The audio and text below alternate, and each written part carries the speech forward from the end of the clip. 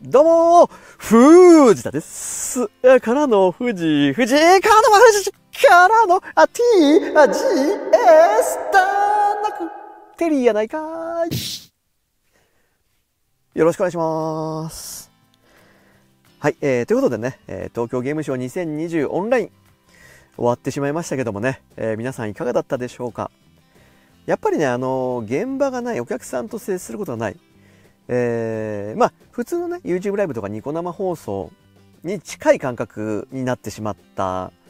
というのはね、えー間違いないと思うんですけども。ただ現場に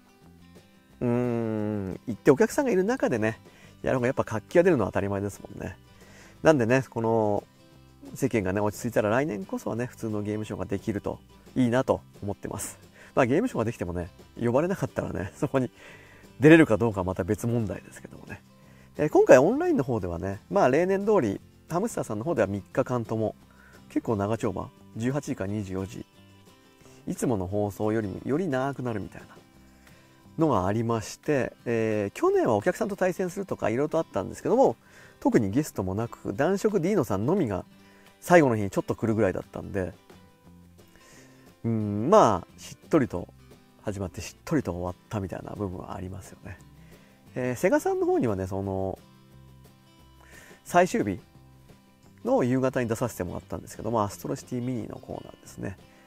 いやあのセガさんのとこはすごかったです。ねまあ広いっていうのももちろんあるんですけど相当な数のねスタッフの方がいましたね、えーでそうそうかゲストも一応あそこいましたね。あそこっていうのもなんですけどね。あそうちょうど終わった時にメープル超合金さんが終わってアスロシティミニのコーナーになるみたいな感じでしたからね。であの筐体もプリクラとか、えーあと UFO キャッチャーとかスペースアリアとかバーチャとか相当な大型筐体がね何台も何台も置いてありましたからね。いやすごかったですね。ハムスターさんがすごくないということを言ってるわけじゃないんですけど。んで、えースペースハリアーもねやらせてもらいましたしね。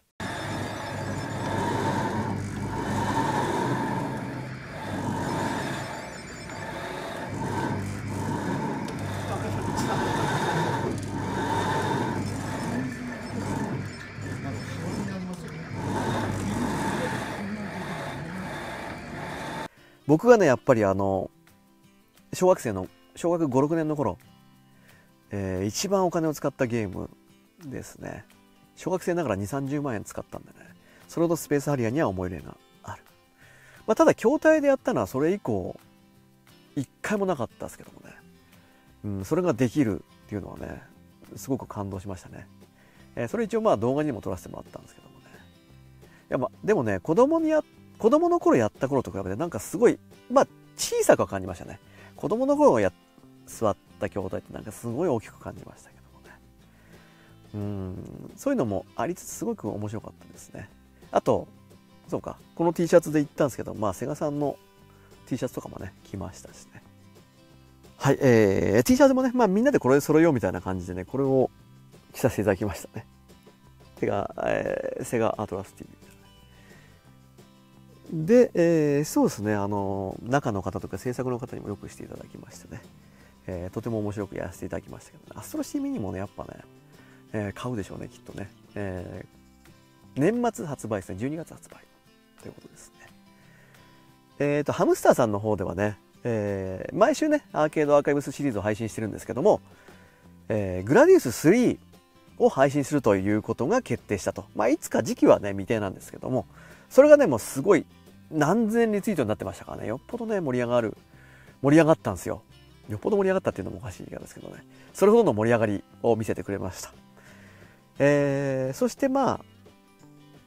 そうですね、えー、6時間かける 3, 3日間を、まあ、ずっとゲームで、なんか縛りがあって勝負とかしてたんですけどもね。それもね、まあ、まあ、毎年恒例というかね、長い、長丁場、まあ結構慣れ、慣れてきたというかね、あの、地方のイベントはことごとくなかったんでね、まあ、長丁場久しぶりだったななんて思いますけどもね。えー、ということで、来年はね、現場でね、